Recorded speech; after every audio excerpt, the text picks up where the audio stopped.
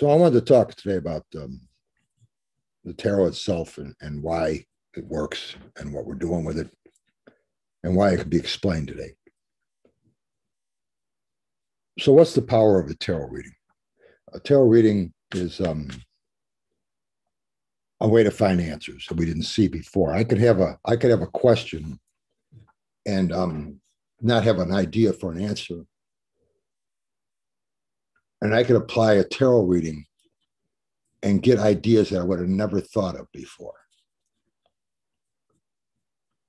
And if I follow through on those ideas and they work, then I've made an accurate prediction. And one of the first thing I'm going to do is I'm going to look at these cards and say, how could a deck of cards do that? I didn't have an answer for this. And I would have never thought, thinking of my own, I could have never figured it out. But I innovation, uh, innovative uh, thinking, tarot gave me an idea that I would have never thought of before. And I followed through on this idea and it and it panned out.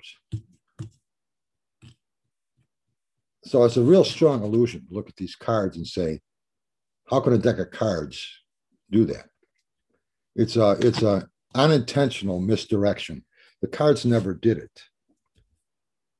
It's the application, the way I use the cards that did it. And that's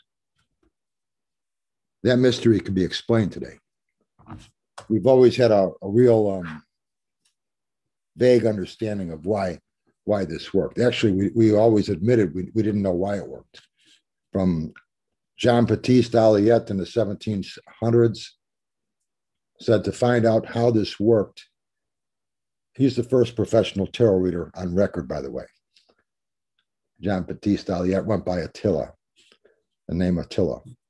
And he said in his first book, to discover how this worked would be like finding a needle in a heap of hay. That's the way he put it. In other words, we don't know why. And um, so that's always been the biggest mystery um, Papus, uh, Dr. Encausse, he said the same thing 100 years later in Tarot of the Bohemians. Starts his second paragraph of his preface. He says, The key to its application and construction has not yet been revealed so far as I know. In other words, basically saying, we don't know why it works. Eden Gray, um, in 1970, Complete Guide to the Tarot, she says in that book, for some reason that we don't yet understand, the cards seem to shuffle themselves, but only after you've learned them fluently or something like that, she says. The key there is for some reason that we don't yet understand. So basically saying we don't we don't know why. And this has always been the biggest mystery of the tarot. Today that could be explained. And um and that's why I started writing books about it. I came across this groundbreaking revelation on why the tarot works that I had to start writing about it. And my, uh, I was a professional reader, no intentions on writing a book. And I came across this, I'm thinking, oh my gosh, I have to write about it. And that's what I've been doing ever since. Because understanding why this works puts a clarity on what we're doing with it in such a way that we never had before and it makes it a lot easier to understand what you're doing. And it also it gives us the ability for the first time in their history to improve it. We've never improved the tarot. We've never improved the application. The application has been the same for centuries. We're using the same application John Baptiste Alliette used in the 1700s as we as we that's what we do today. We make a card spread, we place cards in those positions and we interpret them. And that's what we do. And um, and we've never um, questioned anything about that. Now, I never believed that the tarot had the ability to tell me answers to begin with. I mean, I started reading the tarot in 1969, and um, I, I always felt there's got to be something to it we just don't see yet. A, a deck of cards telling me answers or spirits flying around rearranging the cards for me something i just can't i couldn't buy i just couldn't do it i knew that it worked just like Alliette said for some i know it works but why? I can't i can't explain. And um, i felt the same way. It's like a card trick. I figured it was uh, something going on here that i just i'm not seeing. Something's missing. And so when I saw this and came, I came across this revelation, maybe that's why I saw it when it, when, it, when it was in front of me, because I never really bought it anyway, that it's just unexplainable. And it's so clear, it's so it's so simple now that um, my my goal now is to let you see it too, and that's what I've been trying to do. the mindset of the tarot is so strong, centuries old, that it's a mysterious deck of cards. And that's something you, I have to um, cross over because um, that's that's a very strong mindset, centuries old. And to say that it's not a mysterious deck of cards anymore, wow. But what's nice about it is that now we now that we understand why it works, it can be it can be improved. I said I got in the, I got involved with the tarot in 1969. And um, if we take a look at psychology and we take a look at the tarot from that time to now, 90% of what we know about the mind with psychology, we've only learned in the last 35 years or so. So psychology has moved in quantum leaps compared to the tarot. The tarot hasn't moved at all because we don't understand why it works. You can't improve something if you don't understand why it works. So all we've been able to do is mimic certain specific procedures that we know gets results in some way. And the only thing that's really evolved with the tarot is the cards themselves when I first started reading, there was the Marseille deck. A year later, they came out with uh, the one JJ Swiss. And I think that same year, 1970, they came out with the Rider Waite deck again, put it back out in circulation, and it took off like crazy. But um, that was another confirmation for me. But if this symbolism and these cards are supposed to be so um, important how could we just come out with another deck and see pro readers using something like the Rider Waite and getting doing just as good a reading as you can with a Marseille deck? That shows you that there's something different. It's not just the cards. It's a whole different image on these cards. And all we ever did with the cards is just look at these cards under a microscope trying to find the answer. We've looked at everything about the cards, all these different decks. Now there's hundreds of different decks out there. And there's people using all of them, and their readings are just as good as anybody else's. So whether you're using this deck over here or this deck over there, two readers, both successful readers using two different decks, um, and they're and it's, it's working well for them. So it's just a preference on what you like. Also, the meanings of the cards have changed over time. I wrote bare bones tarot, and I put that in here, how the cards have changed over time. So in this book, uh, for each card, I have the meanings for present day. But I also have the meanings that were there for 1980. And I have the meanings that were there for 1960. And you look at the meanings and how they've changed over time. There were successful readers in the 60s. There were successful readers in the 80s, and there's successful readers today. So the meanings of these cards have changed over time. The tarot changes as society changes. And um, and that's what's happened here. So these cards are they're a great source and they're they're very important in obviously doing a tarot reading. But there's something else that we're missing still with this. And that's what we now can understand and we can we can explain. I mentioned psychology because 1969, like I said, psychology from then to now is a whole different thing. And um, so if we look at those two and we see that psychology has progressed so much and tarot hasn't done anything, it's because we understood enough about psychology to be able to build on it. So the power of the tarot, yeah, it allows us to find answers that we didn't see before and get ideas that we didn't see before. And an idea is a prediction because you haven't done it yet. And it works. It's a very effective way to do it. So anyway, I say I talk about psychology here. Psychology today can explain and it understands why a tarot reading works. They couldn't do this in 1969, but they can do it today. Psychology knows the mechanics and what is happening with this application.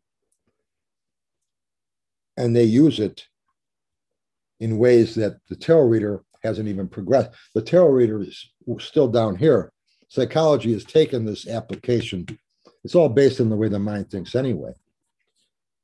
And today it's con- considered a creative thinking technique, and that's what it is. And psychology has taken this and refined it so much that we're not, they're not just looking at things like we looked into as, as tarot readers. They're using this technique, the same identical technique as a tarot reading. They're using it in medicine, in science, in technology, in the arts. Branches of our government use it. All the Fortune 500 companies use it. Inventors use it. And it's, an, it's a direct application of thinking. And it's called creative thinking technique.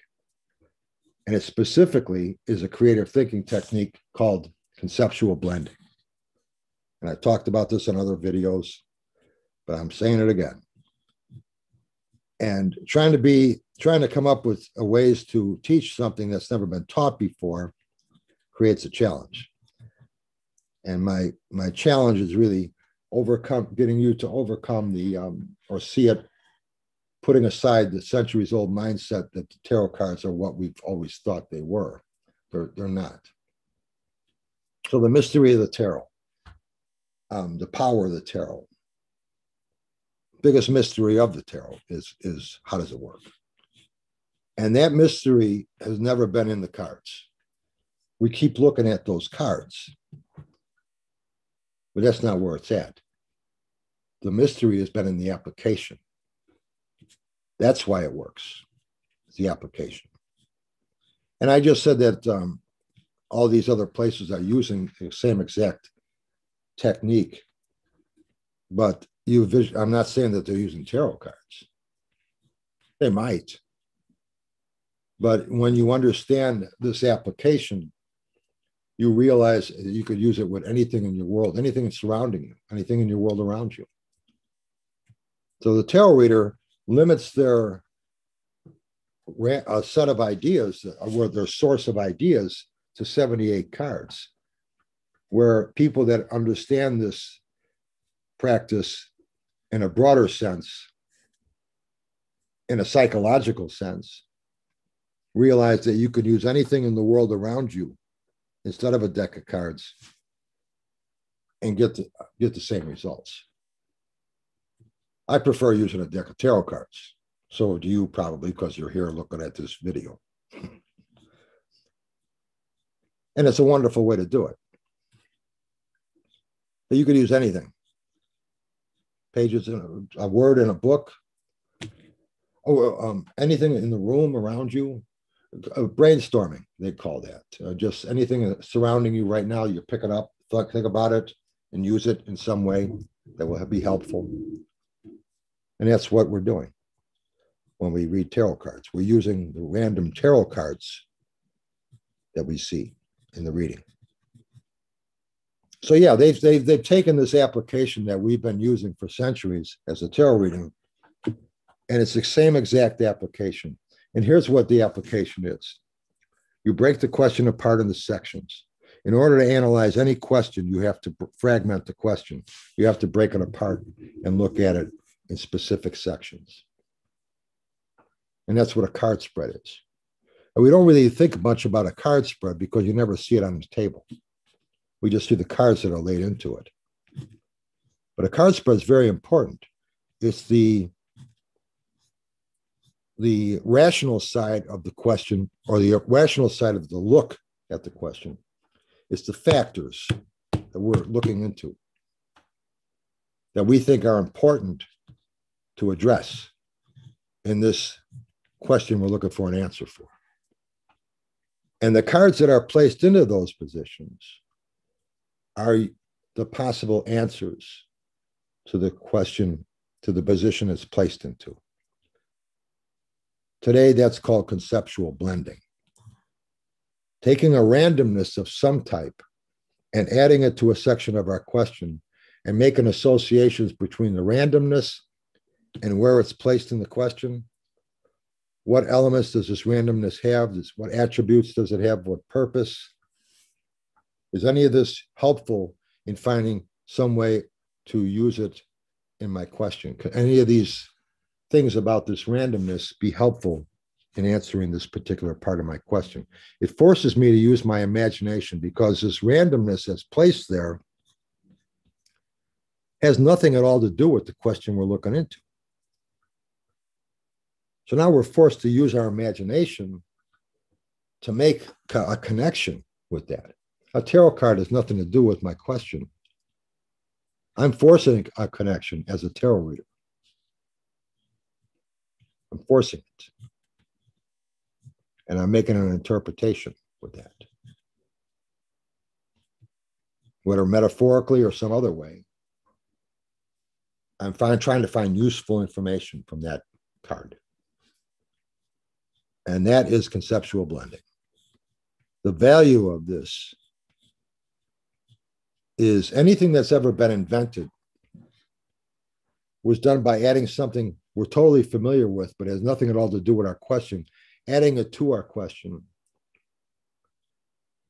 and making associations between this random thing and the element of the question it's placed with. And I've shown examples of uh, this, but to say one again was um, Louis Braille. Louis Braille discovered the idea of Braille for the blind by looking at a pine cone. Feeling the pine cone, feeling the touching it. He was blind himself. And he was thinking about reading books again. He wishes he could read books. He picked, he touched in this pine cone. And he's thinking, what, what if they put points on paper in different patterns that could be letters could be touched instead of have to be seen? So if you look at that, that association and say, um, well, if you look at it rationally, you say, well, how can the blind read books? Well, what about this pine cone? Well, that would be, wouldn't make any sense to you. You're using your learned thinking instead of your imagination. And using this side of the mind, the, the right brain, this imagination, this creative side, is also where your intuition is. So the more you read tarot cards, the more you're going to start to develop your intuition as well, because you're using that part of your mind more. So you're developing it. Just like anything else you do, the more you do it, the, the body will get better at it, including the mind. And you'll start to get ideas and feelings about things that you don't know where they're coming from. So it does help your psychic awareness. Now, intuition, we still don't know anything about intuition. So we're still in the dark ages with that. But psychology now has taken this, this way of thinking and refined it and put it into a science and a study and explains why it works now. And we didn't do that when I was first getting involved with tarot cards. They didn't understand any of that. I mean, they had ideas about it, but they didn't really have it down like they do today. And they're still, like I said, they're still looking into it. They're still trying to refine it. The term conceptual blending did not even become a, an official term in psychology until 1993. So we are in the in the time right now of, of learning more about the mind. We are we know enough about the mind to realize that, oh, okay, this is why a tarot reading works. Because now we know how to come up with ideas. We know that the mind works this way, a certain way. And we can come up with new ideas that we never thought of before. Today, that's known as conceptual blending. And you could take college courses on it now. So it's not mysterious. It's, it's, it can be explained. And this is why the tarot reading is so effective. Any new idea you get is a prediction. So you want to call it looking into the future, fine. You want to call it making plans, or whatever. It doesn't make any difference. Still to be done. People say to me, What do you do? I say, I make predictions. Things that are going to happen in the future if you do this and if you do this. This looks like the way you're going to be going. That's a prediction. Understanding the value of this this application and and um, what that does to this for the tarot reader it allows us for the first time in the history of the tarot to improve this application nobody's ever questioned the procedures that are in place for a tarot reading and um, or how we approach a tarot reading or how we use tarot cards, basically. Nobody's ever questioned that. Or used this way, or this is the way you lay the cards out. And this is the order you put them in. And you use reverse meanings, or you don't use reverse meanings, or this card means specifically this, or we've we've we've um, structured things too much in, in ways that really don't aren't that important.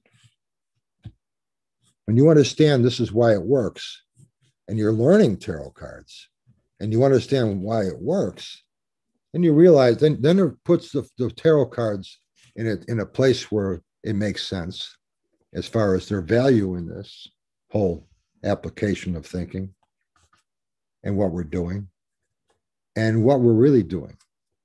So now you know what they are. There are a deck of 78 ideas and these ideas, once they're learned by the reader, are randomly placed in the sections of a question known as a card spread. And then they're interpreted some way by that reader to make sense to fit into that section of the question they've been randomly placed into in a way that would be useful to the seeker that we're reading for.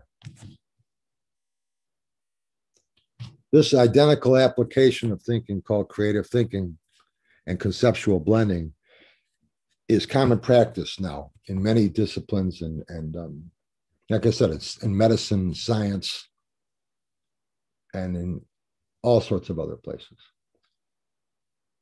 So psychology has taken from 69 when I started reading tarot cards, psychology has taken ways to find answers to things that we don't have answers to and surpass the tarot in ways that are, they're, they're left us in the dust because we were working this this system in a way not knowing why why this worked. And as a lot in, in psychology with the creative thinking that probably I don't even care if if the tarot is used that way or not because they can do so much more in finding answers than we're even we've even thought about. Now 200 years ago tarot readers were some or uh, they were requested by actual world leaders to find answers people in power Today, people in power will use a creative consultant. And the tarot reader has been pretty much just used as a personal one on one with people. And it's more personal issues now, which is fine.